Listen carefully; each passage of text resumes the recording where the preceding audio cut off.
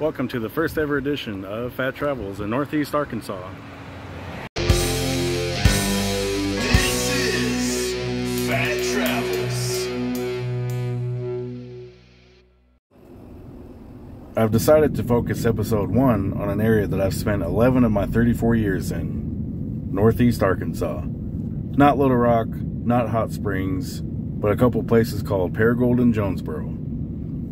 As a kid, I bounced back and forth between the mega metropolis of my birth home in Los Angeles to these smaller rural towns in Arkansas where my dad's side of the family is from. As much of a city person as I am, there's no denying that southern cooking helped shape my taste buds. Biscuits and gravy, Boston butt, deer meat, squirrel, frog legs, all the different kinds of fish were all part of my upbringing thanks to my dad. I wanted to spend a little time talking about the food in this area because there honestly isn't really anything that showcases what's here. Paragould is about 25 minutes slightly northeast of Jonesboro, with a metropolitan population of 44,000. The town is mostly known for factory work, used car sales, has an abundance of banks and churches, and like most smaller towns in the U.S., Walmart is central to the local economy. There's not much for entertainment, just a movie theater, an old bowling alley, and a few bars. For food, you can find barbecue, homestyle cooking, catfish, Mexican, Asian, sushi, burgers, pizza, buffets, and of course the usual fast food and chain restaurants. The first place I'm going to show you is Dog and Suds. There aren't many left anymore, but if you can find one, you gotta grab their root beer, specifically. This place has been here for 60 plus years, and you can tell. While you're here, you might as well pick up a chili dog and some fried mushrooms, or try their Salvadorian stuff. Just up the street by the railroad tracks is Hamburger Station. This little stand has been here for nearly 40 years and is definitely a local favorite. Say hi to the hamburger statue. There's plenty of options to choose from on their menu, but what they're most known for are their hamburgers. Get the tater balls with it, trust me. The cherry shake is where it's really at, though. Yeah, look at that. Tasty. I'm gonna open up this little hamburger here. Got some onions, got some cheese. It's all ooey gooey. Yeah, look at that fat piece of meat. She sure is pretty. I'm gonna stick her in my mouth hole. There we go. Yeah, get that bite. Juicy.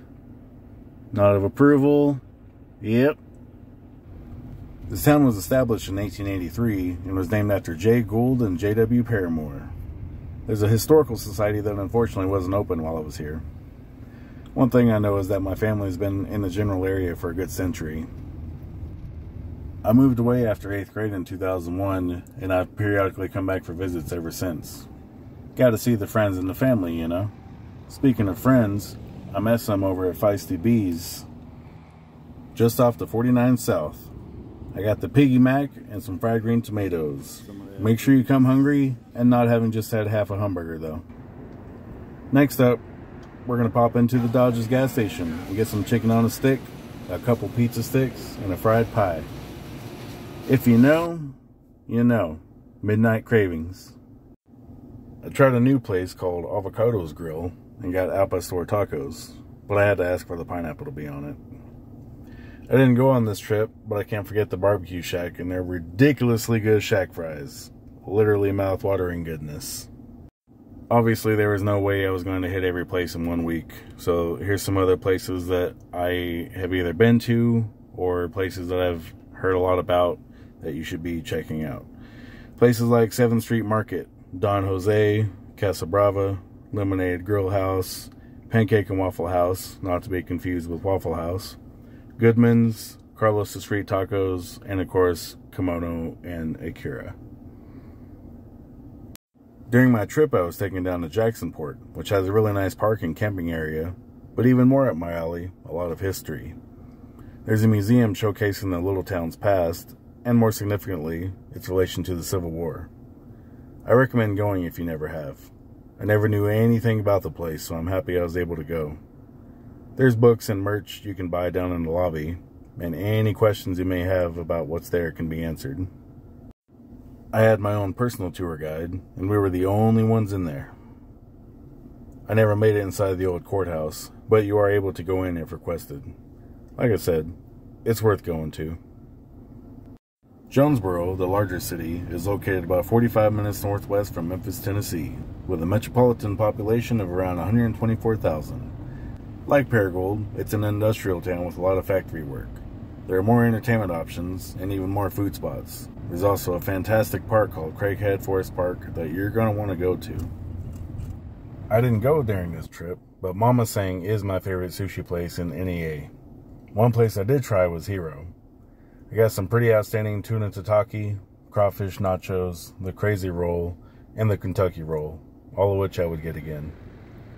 Last March, just after COVID hit, the Turtle Creek Mall was hit by a devastating tornado. The demolition of a huge chunk of the mall was underway while I was there.